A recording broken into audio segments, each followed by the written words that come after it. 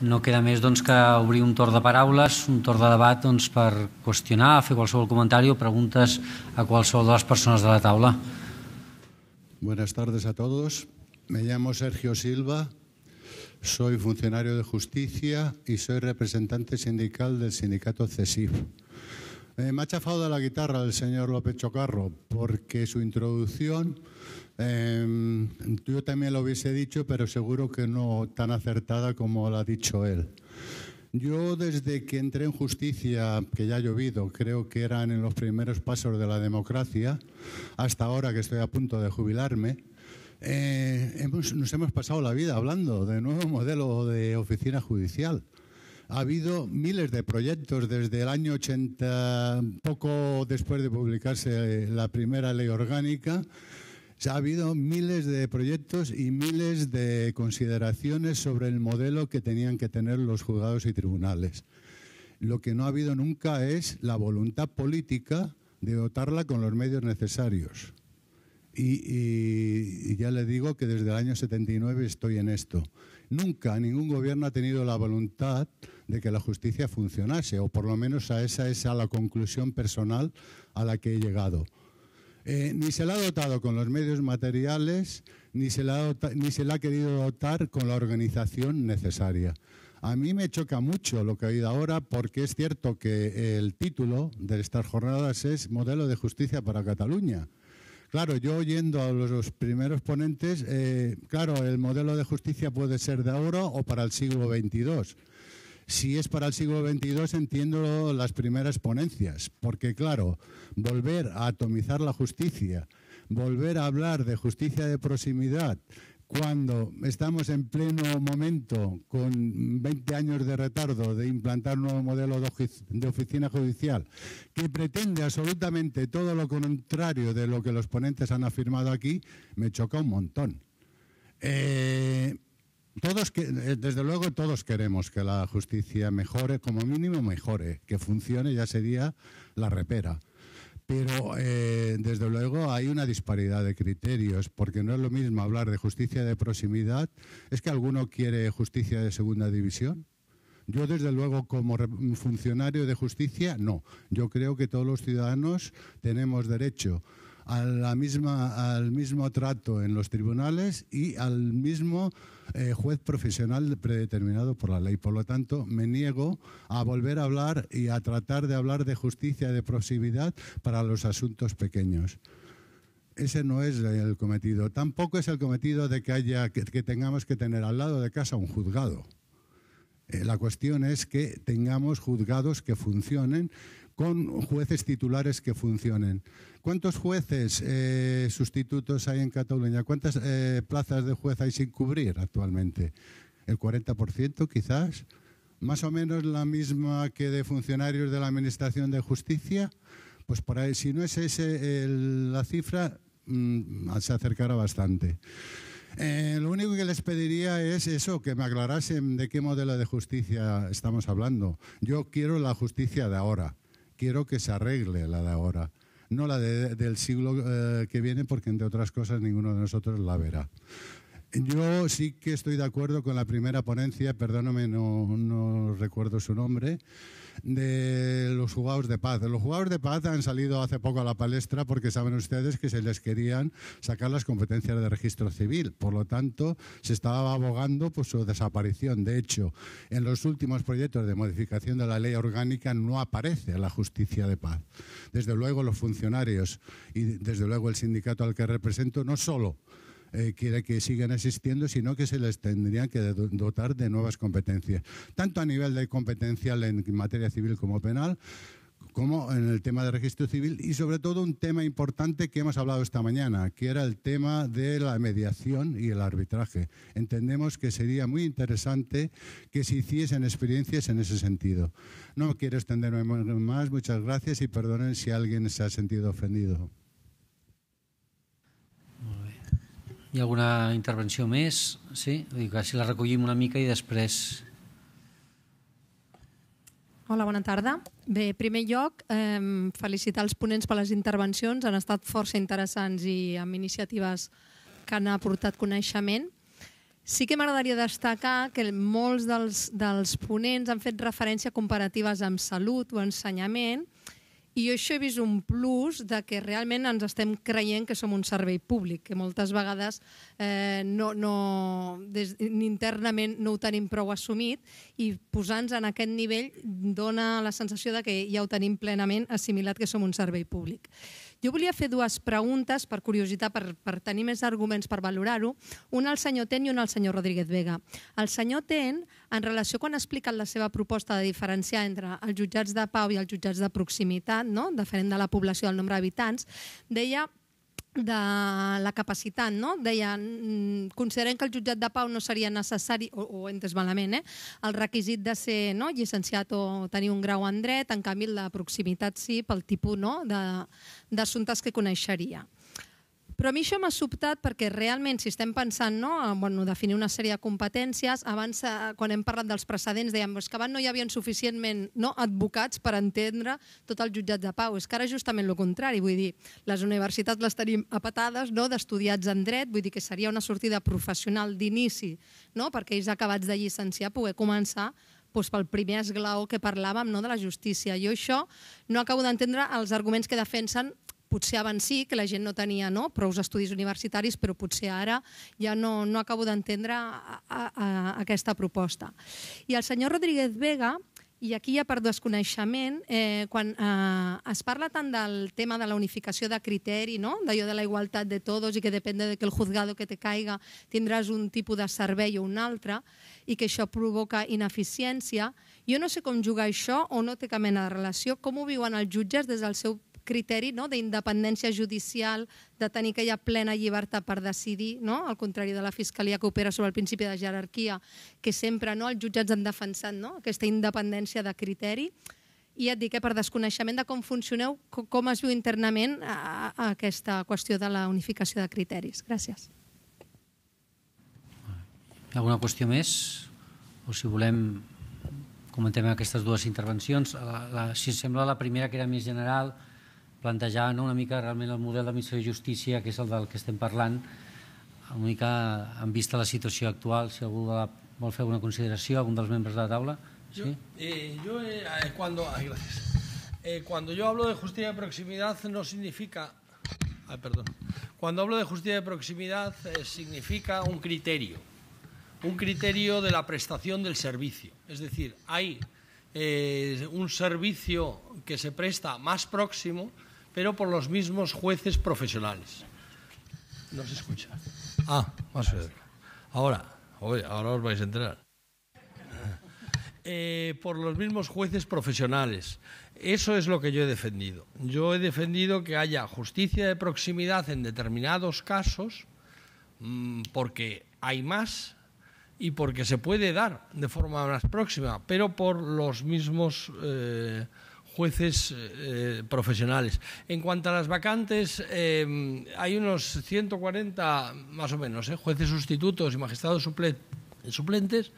Y mm, en vacantes solemos tener unos 80 vacantes de una planta total de 800 y pico. Por eso digo que no tiene nada que ver con las vacantes que hay de funcionarios de Administración de Justicia que ven de andar rondando los 50 el 50%, o de letrados de la Administración de Justicia que debe estar por, por, por ahí. Eh, ¿Contesto a lo de la unificación? Sí. Eh, bueno, eh, en relación con la unificación de criterios, eh, vamos a ver, yo creo que la clave fundamental es que la independencia debe de predicarse del órgano. O sea, y el órgano es el, el tribunal de primera instancia. Ese debe ser independiente. Pero los jueces no podemos ser independientes de nosotros mismos. O sea, llega un momento en el que la situación es un poco curiosa con lo de la independencia. La independencia es una garantía del ciudadano, no es el privilegio del juez. Entonces hay que ver hasta dónde el ciudadano tiene garantía a un juicio por un juez independiente. Muy bien, el tribunal de primera instancia debe ser un órgano plenamente independiente de cualquier eh, eh, agente ajeno al proceso. Y el juez que juzga cuando juzga, debe ser ajeno a cualquier influencia a la hora de valorar la prueba, pero no a la hora de aplicar criterios jurídicos, eh, buscando mecanismos de flexibilidad, de enriquecimiento, de muchas cosas, que se pueden hacer muchas cosas. Pero mm, yo la virtud de la predecibilidad me parece muy importante y solo se puede ser predecible si se fijan los, criterios antes. Es, eh, complicado, ¿eh? Eh, es, complicado. Se ha dicho que no, que no tenemos, que no estamos sometidos ni a la jurisprudencia del Tribunal Supremo. Y es verdad que la jurisprudencia complementa el ordenamiento jurídico, como todos sabemos, pero es discutible cuál sea su planteamiento. Pero cualquier juez eh, que se precie de serlo, o sea, de ser un juez imparcial, un juez eh, predecible, que es una de las grandes virtudes del juez, debe de respetar la jurisprudencia, incluso para separarse de ella. O sea, tú puedes separarte de tus criterios, pero diciendo por qué te separas del criterio, justificándolo, no porque yo lo veo de otra forma. Eso no es un criterio por lo menos jurídicamente aceptable. Sí, no, no. Bueno, a mí la verdad es que entiendo claramente su pregunta, que ha sido, por supuesto, yo luego no me he ofendido, muy correcta, pero yo quizás no me debo haber explicado bien, pero para mí mi modelo de oficina o de, partido judicial o, o de, planta judicial, mejor dicho, no es el del partido judicial que tenemos actualmente, porque he dicho en repetidas ocasiones que para mí este modelo está absolutamente superado. Entonces, ¿cuáles son otras, otras opciones? Pues otras opciones para mí la opción clara es el tribunal de instancia. ¿Por qué el tribunal de instancia? Porque el tribunal de instancia, insisto, aún teniendo sedes desplazadas, todo este problema ahora que, por ejemplo, se ha planteado con la unificación de criterios, pues yo creo que con el Tribunal de Instancia, lo ha dicho el magistrado, sería mucho más fácil. Yo creo que hoy en día eh, puedo estar en gran parte de acuerdo con Luis y discrepo en alguna parte con el tema de la, obligación de los, de los, jueces de seguir o no la, jurisprudencia del Tribunal Supremo. Se han dado situaciones muy curiosas en los últimos años y todos las conocemos. Es decir, sentencias del Supremo en las cuales había un voto particular y algunos, algunas audiencias han optado por lo que decía el voto particular en vez de seguir la sentencia que decía el Tribunal Supremo. Entonces, eso ha provocado un aluvión de recursos. Claro, tema de las preferentes, tema de cláusulas suelo. Es que depende de las planteadas en Barcelona, en los juzgados impares, por poner un ejemplo, ¿eh? sabías que te iban a decir una cosa o te iban a decir otra. Si iba a la sección X, te iba a resolver de una forma, y si iba a la B, te iba a decir, estoy en día, no sé, yo soy un extranjero que vengo aquí a invertir en este país con las necesidades que hay. Dices, ¿esto me genera mi seguridad jurídica?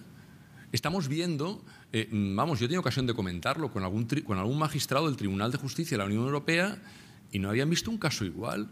¿Cómo puede ser que el juzgado de Villarriba de abajo, y lo digo también exagerando, pueda plantear una cuestión perjudicial? Al final ha tenido que ser el Tribunal Supremo en algunas cuestiones y decir, oye, ya la planteo yo a nivel general para que no sigan disparando eh, otros francotiradores más. Esta situación para mí hoy en día, insisto, para mí hoy en día de cara al ciudadano mm, no es aceptable.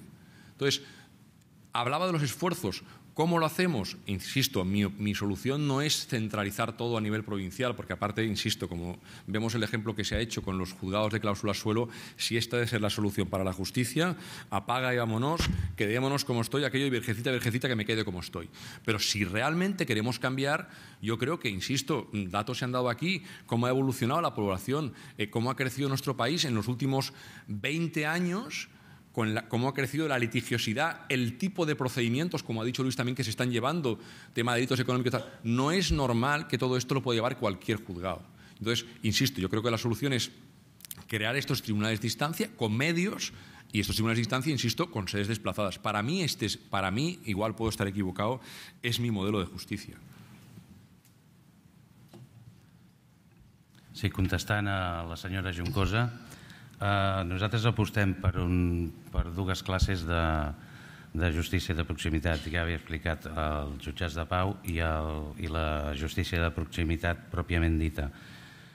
Uh, aquesta diferència del títol de dret o, o no títol de dret, perquè estaríem de parlant d'agrupacions de, de, de jutjats que no tindrien tants habitants ni tindrien les mateixes competències. Sí que eh, veiem amb bons ulls de que eh, es fagin uns cursos d'aptitud abans de fer-se càrrec eh, d'un jutjat de pau, però eh, tampoc veiem viable econòmicament que dels 899 jutjats de pau es convertessin en 350 jutjats de, de proximitat. Sé, eh, abans han comentat aquí que el Departament de Justícia pues, de, rep 900 milions d'euros de, de pressupost i en canvi hi ha altres departaments que en reben 6.000 o en reben 8.000, doncs imagini's vostès si han de crear eh, places per, per jutges de proximitat que a més a més serien llicenciats en drets en dret que eh, vostè diu que, que sí que, que obtindrien una sortida laboral quan sortin de la universitat, però nosaltres la nostra proposta és que tingués ja una experiència. En quant al tema de, de proximitat, jo sí que crec, molt, crec en el tema de la proximitat. Abans potser no m'he explicat correctament quan deia, jo en cap moment he dit que, que aposti, eh, no aposti per, per l'especialització per suposat, jo he dit que un jutge es pot fer càrrec de més d'un jutjat, precisament si és especialista, per què no? El que jo aposto és perquè hi hagi centres de justícia i que estiguin repartits, que sigui més sostenible, sostenible i que anem un punt més enllà. Per què un jutge ha de ser titular d'un jutjat i no ha de eh, poder impartir justícia en més d'un lloc?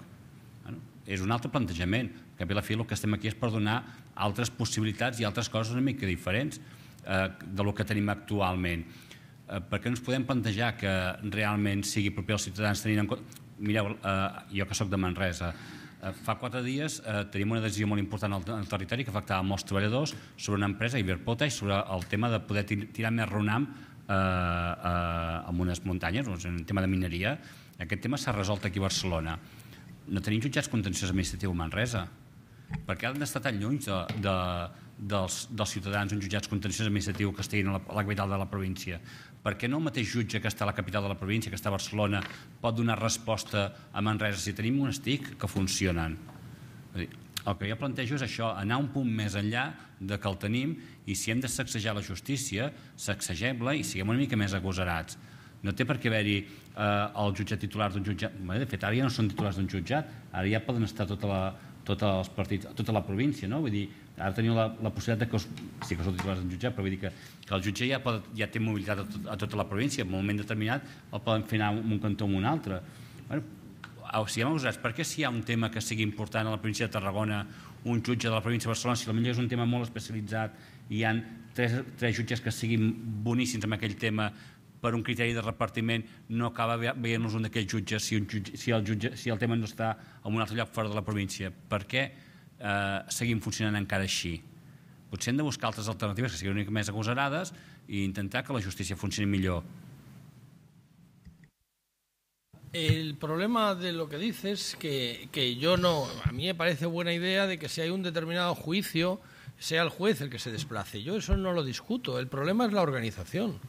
O sea, ¿cómo haces la organización? ¿Cómo organizas? O sea, las excepciones, esas caben en cualquier caso. O sea, en los jueces de circuito norteamericanos, que son los jueces de apelación, los jueces federales, eh, se van cambiando de sede y no se le caen los anillos, no pasa nada. Aquí se pasa con Vicky Manresa que se cambian de sede del juzgado de lo penal y no pasa nada. Y esas cosas se deben de conservar.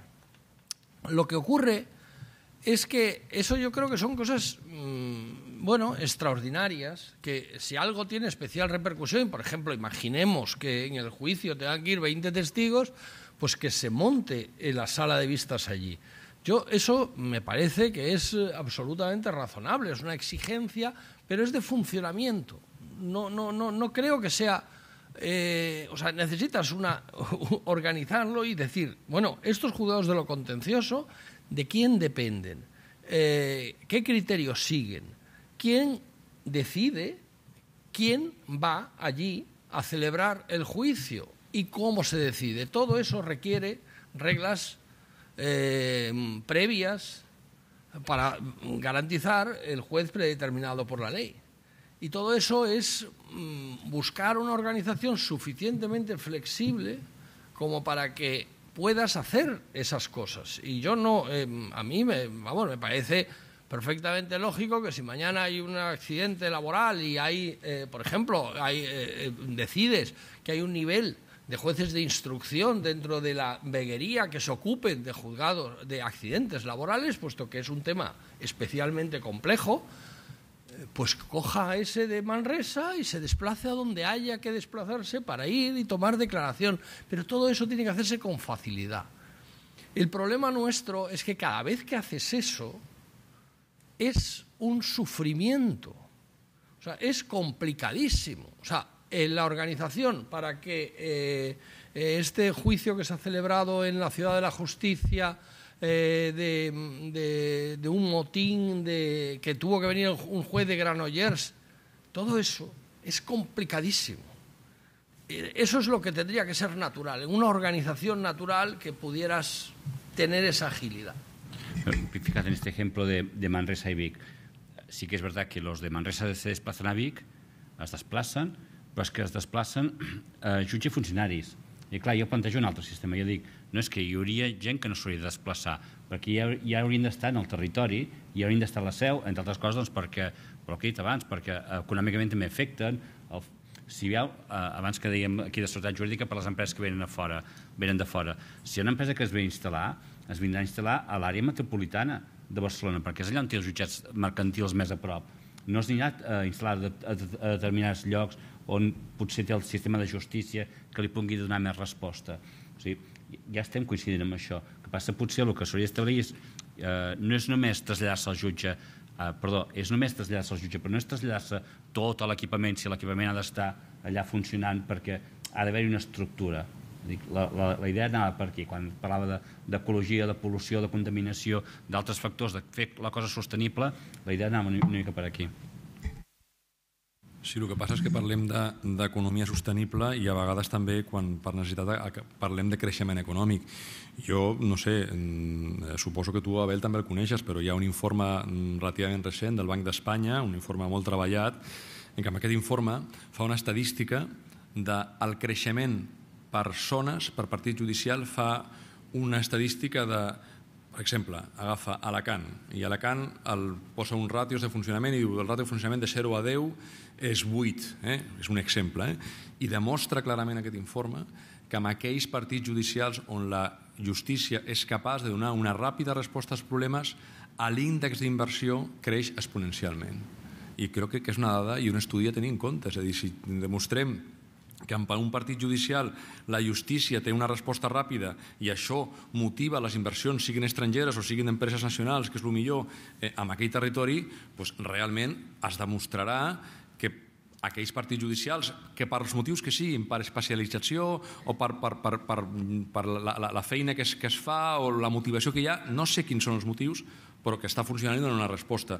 Pues jo crec que aquests estudis eh, demostren, demostren que hi ha una relació, una estricta relació. Ara es comença a parlar, nosaltres, en perdó, portem molts anys parlant, eh, i ara es comença a parlar també de l'estricta relació que hi ha entre economia eh, i administració i justícia, entre creixement econòmic i funcionament, funcionament de la justícia. Pues jo crec que aquestes dades eh, són importants per dissenyar en el futur un nou mapa judicial. No? Molt bé. Endavant. Precisament la darrera taula que farem el dia 12 pretén abordar aquests temes, no? la relació d'impacte econòmic a dintre i a d'extra del funcionament de l'administració de justícia. Mm. mm. Endavant. Sí, jo li volia fer una pregunta al senyor Luis Rodríguez i no sé si ja me l'ha contestada en la intervenció que acaba de tenir quan parlava dels contenciosos administratius. Sí.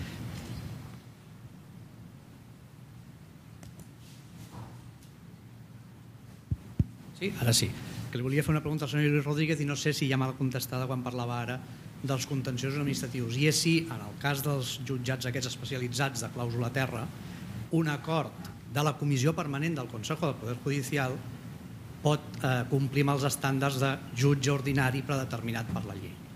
I aprofitant, i abans que em contesti això, també el volia felicitar per una cosa que no ha dit, que em sembla que és el reconeixement de l'absolut fracàs del sistema d'oposicions per accedir a la carrera judicial i de la pròpia escola judicial perquè si no és això, tampoc entenc com es pot dir que un jutge de Berga no està preparat per portar un judici de separació de divorci amb fills menors. Bueno, yo me parece que eh, tengo muy claro que el sistema de oposiciones es mejorable, pero el sistema de oposiciones es imprescindible. O sea, es el que tenemos. Segundo, la escuela judicial no puede fracasar en transmitir una cosa, que es experiencia, porque eso no la transmite ningún centro educativo. Eso, la experiencia, la da la práctica y el conocimiento, que no es solo la práctica, que hay gente que lleva 20 años haciendo las cosas mal. Eh, la da la práctica y el conocimiento. La experiencia no es más que esa práctica reflexiva. Y eso es imprescindible para resolver determinados temas. Hay determinados temas que, que tienes que saber qué balón tocas.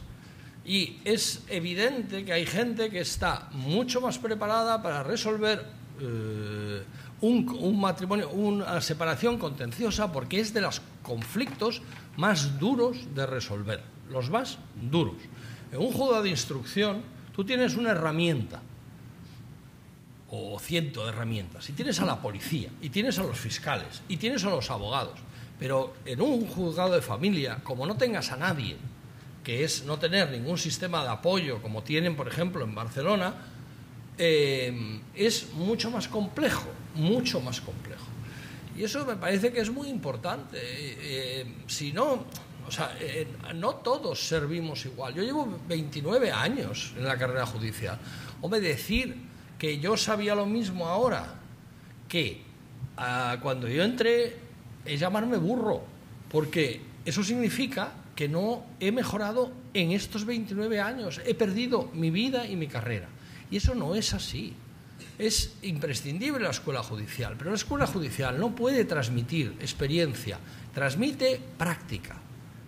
Transmite práctica, pero la experiencia se adquiere con los años y con una práctica reflexiva una práctica mm, consciente. Y eso es muy difícil, eso es muy difícil adquirir. O sea, eso, eh, juzgar es un oficio, es un oficio muy difícil. Antes decía el compañero que lleva, que está a punto de jubilarse, habrá visto de todos los colores de jueces. Y hay jueces que son eh, extraordinarios en gestión y hay otros que son muy torpones. Y todo eso eh, en gestión, en resolver cuestiones, gente que le cuesta más resolver, gente que... Todo eso es... Depende de tantas cosas. Un juzgado es una, una estructura tan frágil, tan frágil, que eh, el juzgado funciona bien si el letrado de la Administración de Justicia, el juez funcionan bien y además tienes la suerte de tener buenos funcionarios. Eso es imprescindible, pero desgraciadamente con las vacantes que tenemos en este país, o sea, uno de los problemas que tenemos es que la mayoría de la gente es interina. Y no porque los interinos no sepan hacer su trabajo, que hay muchos que lo hacen muy bien. Es porque llega un momento que no tienen ningún incentivo. Ninguno.